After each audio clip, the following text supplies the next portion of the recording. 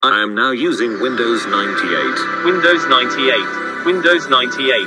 Why the hell are you still using Windows 98?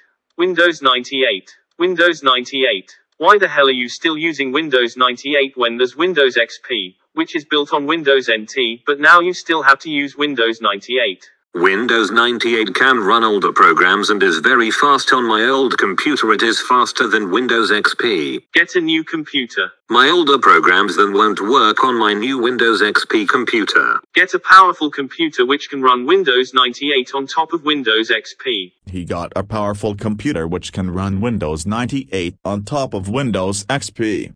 He is now running his old program under Windows 98 which is running on top of Windows XP. I am now using Windows 98 and a virtual computer on top of Windows XP. Windows 98. Windows 98. Why the hell are you still using Windows 98 when you can use Windows XP which is built on Windows NT but now you have to use Windows 98 in the virtual machine? Windows XP sucks. That's why. Shut up. You suck.